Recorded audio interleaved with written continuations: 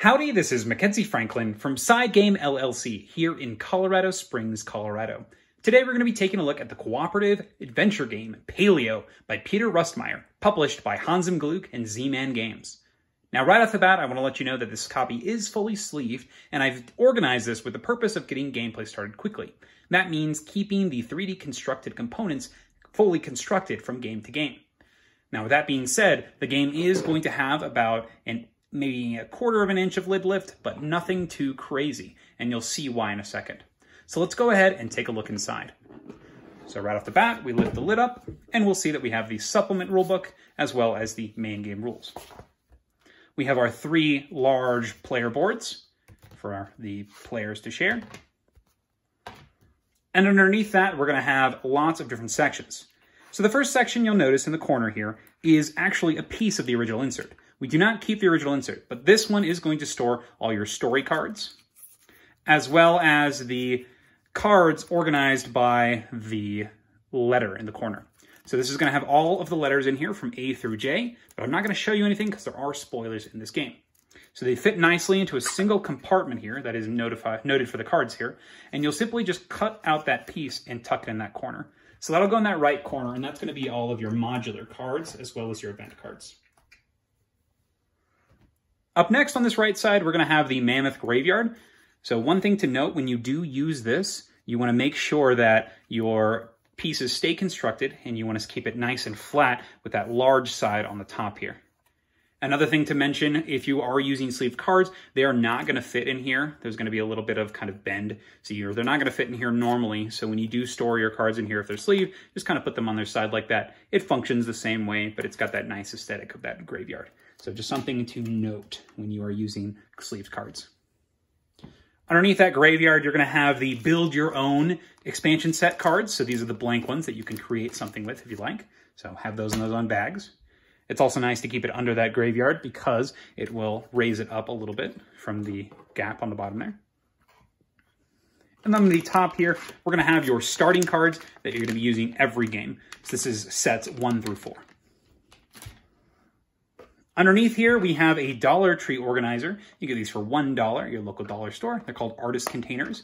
And inside, we simply lift off the top here, and we have all of the different potential items and ideas that you can find as you play organized in their own little sections. It does come with these handy little dividers in the center here. That way you can separate things that only have maybe one or two items. So really nice. These four you're going to be using every game. So you can keep them in here, or you can take them out and put them where they belong on the uh, item rack. And we'll see that in a second. Speaking of item rack, that's the next part of this, and that's on the left side here. We have the bottom of the item rack here, and you can simply put that on the table. And then on top of it, you're gonna put this 3D construction. So this piece here is really the big reason that we don't have the insert in here anymore, because you want to keep this fully constructed.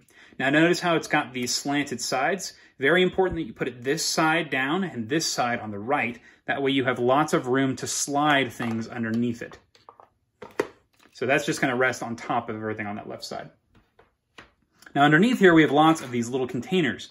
So you can get them from Dollar Tree, usually 10 for a dollar. Uh, these larger ones are usually four for a dollar. But you have this large container It's going to contain your victory markers. You're going to have these smaller containers. You can get 10 for a dollar. Your nice little ramekins, you simply put the lid on the bottom and they're ready to go, nice and set up. This is going to have your meat tokens, your dice and your skull tokens, your wound tokens. And then up here, we've got the stone and the wood tokens. So it's all organized on this left side. And the last thing in the box here is a silica gel packet just for freshness. And that's everything in the box. So let's go ahead and pack it up. So one thing that might make it a little bit easier is if you actually put in this large organizer first, you want to tuck it in that bottom left corner. That way you know exactly how much room you're working with. Same thing with that card stack. You might want to put that one in the bottom right. Once again, so you know exactly how much room you've got. The next thing we'll take is we'll take that large container for the victory point tiles, and you're actually going to put it in here first and slide it down on this right side. Then we'll take that artist container and do something similar. We'll push, we'll push it right against those two containers and the card holder. We'll take the player cards and put them on the right, push them towards to the right there. We'll take that build your own expansion set and put it here. Make a little bit of room on the right here, so that way we can put the tusks of this graveyard on the right. And make sure to slide that expansion pack under here so it kind of supports your 3D component. We'll put the silica gel packet in the left corner, as well as the stone and the wood resources.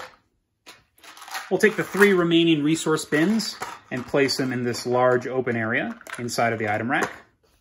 And then we'll place this item rack identifier on top of all of those. The last steps, we take the three boards and we're gonna place them nice along the middle here, nicely along the middle there, and then we'll put the rule books on top of that. And that is organizing paleo. If you have any questions about my organization method or what you saw here, please let me know down in the comments below. How did you organize your copy of Paleo? Did you keep things in separate bags? Did you cut up stuff like I did? I'd love to hear your take on this organization method. If there's any games you'd like to see organized in the future, please let me know down in the comments below.